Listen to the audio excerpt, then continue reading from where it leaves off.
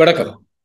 நேற்று ஏப்ரல் மாதத்தின் இருபத்தி ஒன்பதாம் தேதி சனிக்கிழமை இலங்கையிலே இடம்பெற்ற சில முக்கியமான செய்திகளின் தொகுப்போடு உங்களை சந்தித்திருக்கிறேன். இந்த அதிகாலை விடையிலேயே இந்த செய்திகளை நீங்கள் குறித்துக் கொள்வது இன்றைய நாளில் இடம்பெறப் போகின்ற மிக முக்கியமான விடயங்கள். அதுபோல தொடர்ந்து வருகின்ற திங்கட்கிழமை தொழிலாளர் தினமாக அமைய போகிறது. அது தொடர்பான அடுத்து வரப்போகின்ற அந்த வாரத்துக்கான நிகழ்வுகளை திட்டமிடவும் உங்களுக்கு உதவியாக இருக்கும். இலங்கையில் அண்மை காலமாக தொடர்ச்சியாக சிறுவர்கள் மீதான பாலியல் துஷ்பிரயோகங்கள் அதுபோல அவர்கள் வாழும் சூழலிலேயே அவர்களுக்கு நன்று பரிச்சயமானவர்கள் மூலமாக இவ்வாறு நடக்கின்ற துஷ்பிரயோகங்கள் மூலமாக ஏற்படுகின்ற ஆபத்துகள் மிகப்பெரிய ஆபத்தை எங்களது சிறுவர் சமூகம் எதிர்கொண்டு வருகிறது என்பதை நிரூபிப்பதாக அமைந்திருக்கிறது. அதுவும் அண்மை காலமாக பௌத்த மத பீடாலயங்களுக்கு கீழே இயங்கி வருகின்ற பௌத்த ஆசிரமங்கள் பௌத்த விகாரங்கள் ஆகியவற்றில் இளம் பௌத்த விக்குகள் இப்படியான துஷ்பிரயோகங்களுக்கு இலக்காகி வருவதை அவதானிக்கிறது நேற்றைய நாளில் வெளிப்பட்ட செய்தியும் அவ்வாறான ஒரு பயங்கரமான செய்தி. பதினோரு வயதான இளம் பிக்கு ஒருவர் துஷ்பிரயோகம் செய்யப்பட்டுகின்றார் இது பற்றிய முழுமையான விடயங்களை உங்களுக்கு கொண்டு வருகிறேன். அதுபோல இலங்கையின் வைத்தியசாலை ஒன்றுக்குள் இடம்பெற்ற கத்திக்குத்து சம்பவம் ஒன்றில் இருபத்தி நான்கு வயது நபர் ஒருவர் கொல்லப்பட்டிருக்கிறார் ஏடிஏ என்று சொல்லப்படுகின்ற பயங்கரவாத எதிர்ப்பு சட்டம் மூலம் அண்மை காலமாக தொடர்ச்சியாக சிறுபான்மையினரால் எதிர்க்கப்பட்டு வந்திருந்தது. இது மட்டுமல்லாமல் பெரும்பான்மையினரும் எதிர்கட்சிகளும் கூட இதில் என்ன இருக்கிறது? இந்த விடயங்களுக்குள் இருக்கின்ற மிக முக்கியமான விவரங்கள் என்ன? அதுபோல என்ன வியாக்கியானங்களை இவர்கள் அரசாங்கம் இது தொடர்பாக கொடுக்கின்றார்கள் என்று பல்வேறு கேள்விகளை எழுப்பியிருந்தார்கள். நேற்றைய நாளிலும் இது பற்றிய எதிர்ப்பு ஆர்ப்பாட்டம் ஒன்று இடம்பெற்றிருக்கிறது. ஒன்று இரண்டாவது இது சம்பந்தமாக சட்டத்தரணிகள் சங்கம் என்ன சொல்கிறது? இதை பற்றிய அறிக்கை ஒன்றை அவர்கள் சமர்ப்பிக்க இருப்பதாக சொல்லியிருக்கின்றார்கள். அதை பற்றிய விடயத்தையும் கொண்டு வருகிறேன். இது மட்டுமில்லாமல் நேற்றைய நாளில் இடம்பெற்ற இன்னும் பல்வேறு முக்கியமான செய்திகள் அதுபோல மிக முக்கியமாக இலங்கை ரூபாயின் மதிப்பு அண்மை காலமாக அமெரிக்க தொடருக்கு நிகராக உயர்வை காட்டி வருவதாக சொல்லப்படுகின்ற விடயத்தின் பின்னணி பற்றியும் ஆராயும் இப்போது விரிவான செய்திகளுக்கு செல்வோம்.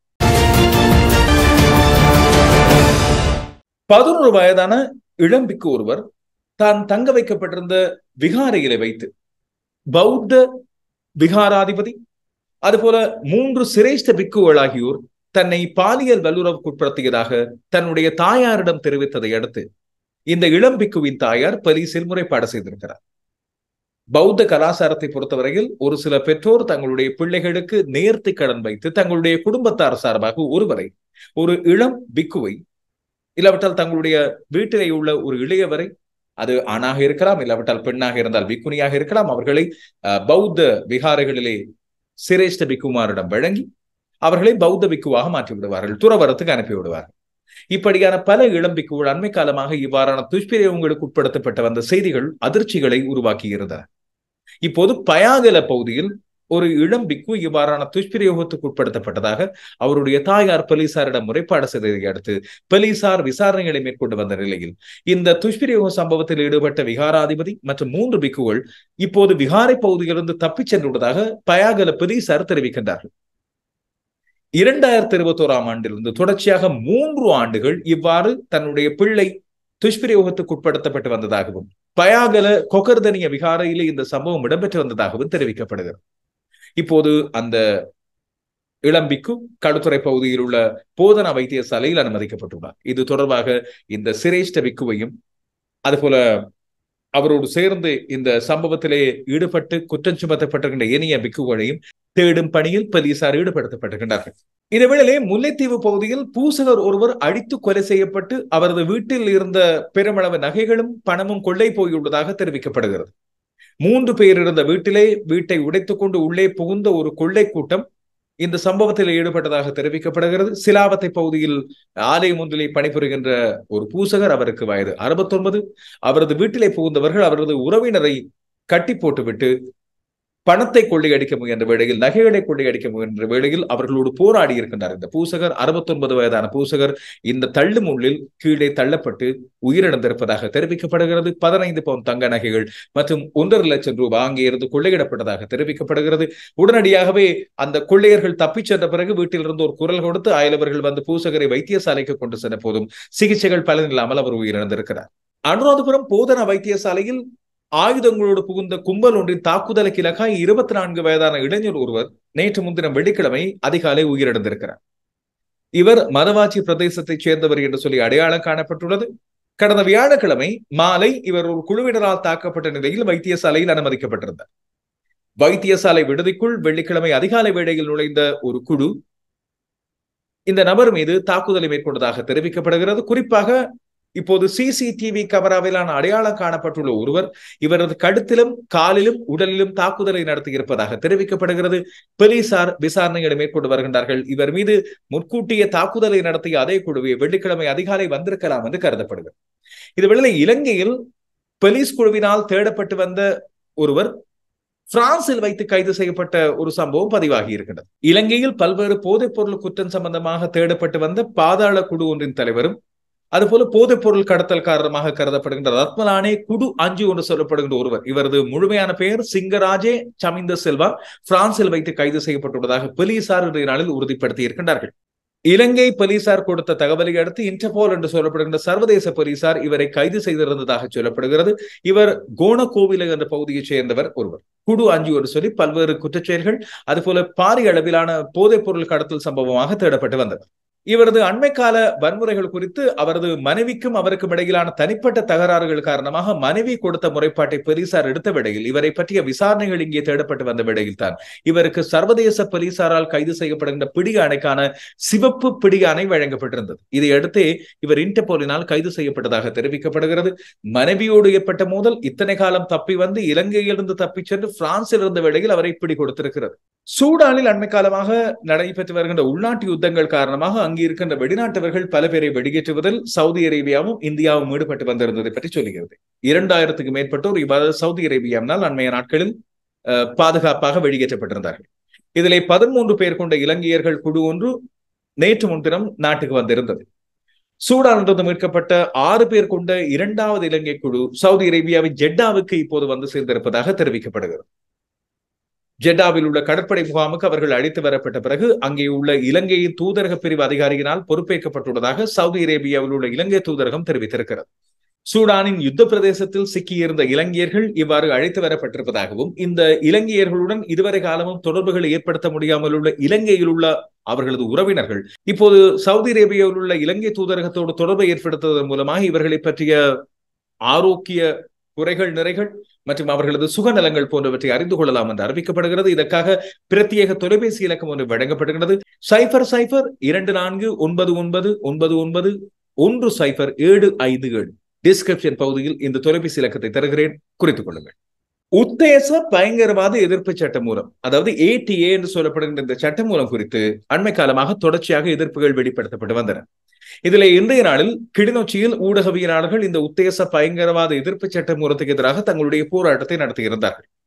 கிளிநொச்சி ஊடக அமையத்தின் ஏற்பாட்டில் வடக்கு மற்றும் தெற்கு ஊடக அமைப்புகளின் பங்குபற்றலோடு கிளிநொச்சி மத்திய பேருந்து வளாகத்தில் இந்த எதிர்ப்பு போராட்டம் முன்னெடுக்கப்பட்டது. இந்த சட்டம் மூலம் நிறைவேற்றப்பட்டால் அது ஊடகங்களுக்கும் ஊடகவியலாளர்களுக்கும் பாரிய நெருக்கடி ஏற்படுத்தும் என்றும் தங்களது கடமைகளை சுயாதீனமாகவும் சுதந்திரமாகவும் பயமில்லாமலும் அவர்களால் மேற்கொள்ள முடியாத நிலை ஏற்படும் என்றும் இந்த எதிர்ப்பு வெளியிடப்பட்டிருந்தது. இதேவேளை இலங்கையின் சிரேஷ்ட ஊடகவியலாளர்களாக துணிகரமாக செயற்பட்ட தமிழ் தேசியத்துக்காக மிக முக்கியமான கடமைகளில் ஈடுபட்டிருந்த இரண்டு ஊடகவியலாளர்கள் தராக்கி என்று சொல்லப்படுகிற சிவராம் அதுபோல ரஜிவர்மன் ஆகியோரது நினைவு தினம் யாழ்ப்பாண ஊடக அமையத்தில் இன்றைய நாளில் அனுஷ்டிக்கப்பட்டிருக்கிறது. இதிலே தராக்கி என்று அழைக்கப்படுகின்ற சிவராம் பதினெட்டு ஆண்டுகளுக்கு முதல் இதே நாளில் படுகொலை செய்யப்பட்டிருந்தார். அதுபோல ரஜிவர்மனின் பதினாறாவது நினைவு தினமும் இன்றைய நாளில் யாழ்ப்பாண ஊடக அமையத்தில் இன்றைய நாளில் அனுஷ்டிக்கப்பட்டிருந்தது. தராக்கி என்று அழைக்கப்படுகின்ற தர்மரத்னன் சிவராம் கடந்த இரண்டாயிரத்து ஐந்தாம் ஆண்டு ஏப்ரல் மாதம் இருபத்தி எட்டாம் தேதி கொழும்பு பமலப்பட்டி போலீஸ் நிலையத்துக்கு அருகே வைத்து வெள்ளை வேனில் வந்த இனம் தெரியாதவர்களால் கடத்தப்பட்டு படுகொலை செய்யப்பட்ட பின்னர் நாடாளுமன்றத்துக்கு அருகில் சடலமாக மீட்கப்பட்டிருந்தார். அவரது மரணத்துக்கான பல்வேறு காரணங்கள் இல்லாவிட்டால் பல்வேறுபட்ட சந்தேகங்கள் வெளிப்படுத்தப்பட்ட போதிலும் இதுவரைக்கும் குற்றவாளிகளுக்கு நியாயமான தண்டனை வழங்கப்பட்டதாக இல்லை. அதே போல ஊடகவியலாளரான செல்வராஜா ரஜிவர்மன் உதயன் பத்திரிகையின் அலுவலக செய்தியாளராக கடமையாற்றி வந்த வேளையில் இரண்டாயிரத்தி ஏழாம் ஆண்டு ஏப்ரல் மாதம் இருபத்தி ஒன்பதாம் தேதி காலை பத்து மணி அளவில் ஸ்டான்லி வீதி யாழ்ப்பாணம் ஸ்டான்லி வீதியில் வைத்து மோட்டார் சைக்கிளில் வந்த இனம் தெரியாத நபர்களால் சுட்டு படுகொலை செய்யப்பட்டிருந்தார். இதேவேளை இந்த உத்தேச பயங்கரவாத எதிர்ப்பு சட்ட மூலத்துக்கு சட்டத்தரணிகள் சங்கம் தங்களது விசேட குழு ஒன்றை நியமித்து இது பற்றிய பரிந்துரைகளை வெளியிடுவது பற்றி தெரிவித்திருந்தது. அண்மையில் நீதியமைச்சர் விஜயதாச ராஜபக்ச நேற்றைய நாளில் நேற்று முன்தினம் நாடாளுமன்றத்திலே இது பற்றி மிக முக்கியமாக ஒரு விடயத்தை சொல்லியிருந்தார். இந்த யார் வேண்டுமானாலும் உத்தேச பயங்கரவாத எதிர்ப்பு சட்டம் மூலம் குறித்து தங்களுடைய கருத்துக்களை வெளியிடலாம் திருத்தங்களை சொல்லலாம் எதிர்ப்புகளை பற்றி குறிப்பிடலாம் என்று. எனவே இதன் அடிப்படையில் இந்த சட்டத்தரணிகள் சங்கத்தின் விசேட குழுவின் பரிந்துரைகள் அடங்கிய அறிக்கை பத்து பக்கங்கள் கொண்ட அறிக்கை சமர்ப்பிக்கப்படுவதாக இப்போது அறிவிக்கப்பட்டுள்ளது.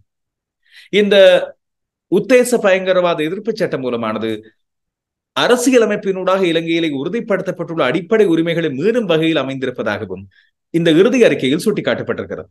எனவே இந்த சட்டமூலத்தில் அவசியமான திருத்தங்களை மேற்கொள்ளுமாறு நீதி அமைச்சிடம் வலியுறுத்துமாறும் சட்டத்தரணிகள் சங்கத்துக்கு இந்த குழு பரிந்துரைத்திருக்கிறது. அரசாங்கத்தினால் முன்மொழிக்கப்பட்டுள்ள இந்த உத்தேச பயங்கரவாத எதிர்ப்பு சட்டம் மூலம் தொடர்பாக பல்வேறு எதிர்கருத்துக்கள் விமர்சனங்கள் முன்வைக்கப்பட்டு வருகின்றன. இதன் அடிப்படையில் தான் இது பற்றி ஆராய்வதற்காக இலங்கை சட்டத்தரணிகள் சங்கத்தினால் ஜனாதிபதி சட்டத்தரணியான பாலித்த பெர்னாண்டோ தலைமையில் எண்மர் அடங்கிய விசேட குழு ஒன்று நியமிக்கப்பட்டிருந்தது. இது பற்றிய முழுமையான அறிக்கை விடயங்களை தனியான சுருக்கமான காணொலிகளில் தருகிறேன். எனவே என்னென்ன விவரங்கள் எங்களுக்கு பொதுமக்களுக்கும் அதுபோல பொது வழியில் இப்படியான நடவடிக்கைகளில் ஈடுபடுவோருக்கும் முக்கியமாக ஊடகவியலாளர்களுக்கும் பாதிப்பாக அமைய போகிறது என்பது பற்றி அதிலே தெரிந்து கொள்ளலாம். கடந்த நான்கு ஆண்டுகளாக ஐக்கிய அமெரிக்க டாலருக்கு எதிரான இலங்கை பெறுமதி வீழ்ச்சி அடைவதும் ஒரு சின்ன முன்னேற்றம் ஒன்றை காண்பதும் தொடர்ந்து வீழ்ச்சி அடைந்து கொண்டு இருப்பதுமாக இருந்தது. குறிப்பாக கடந்த ஒன்றரை வருட காலத்தில் மிக மோசமான வீழ்ச்சி இருந்தது.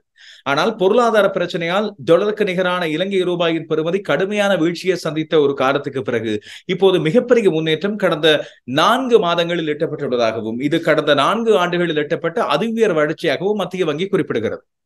மத்திய வங்கி நேற்று முன்தினம் வெளியிட்ட நாணய மாற்று விகிதங்களின்படி அமெரிக்க டாலர் ஒன்றின் கொள்முதல் பெறுமதி முன்னூற்று பதிமூன்று ரூபாய் தொன்னூற்றி இரண்டு சதமாகவும் விற்பனை பெறுமதி முன்னூற்றி இருபத்தி எட்டு ரூபாய் எழுபத்தைந்து சதமாகவும் பதிவாகி இருந்தது இங்கே குறிப்பிடத்தக்கது. இது பற்றி மத்திய வங்கி அண்மை காலமாக எடுத்து வருகின்ற நாணய மாற்று தொடர்பான இறுக்கமான நடவடிக்கைகள் மூலமாக கிடைத்த ஒரு பலனாகவும் அதுபோல இலங்கையை அண்மை காலத்தில் கொண்டிருந்த ஏற்றுமதி இறக்குமதி குறித்த சில கட்டுப்பாட்டு விடயங்கள் இறக்குமதி செய்யப்பட்ட பொருட்கள் மீது கொண்டு வரப்பட்ட தடைகள் மற்றும் தளர்வுகள் ஆகிய இரண்டிலுமே இது தங்கியிருந்ததாகவும் இது அண்மை காலமாக இலங்கை அரசாங்கம் எடுத்து வருகின்ற நடவடிக்கைகளை கிடைத்த வெற்றி என்றே கருதப்பட வேண்டும் என்றும் நிபுணர்கள் தெரிவிக்கின்றார்கள்.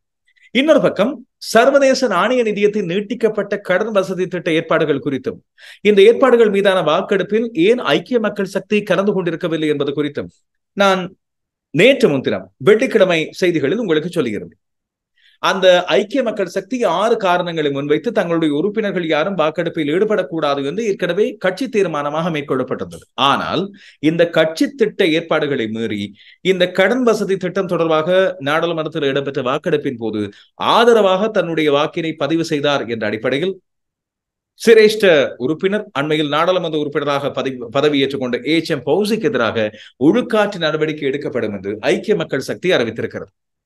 அண்மையில் வயது முதிர்ந்தவராக இருந்தாலும் இத்தனை காலத்துக்கு பிறகு நாடாளுமன்ற உறுப்பினராக நியமனம் பெற்றிருந்தார் ஏச் எம் போஸ். இது பற்றி பல்வேறு சலசலப்புகள் எழுந்திருந்தன.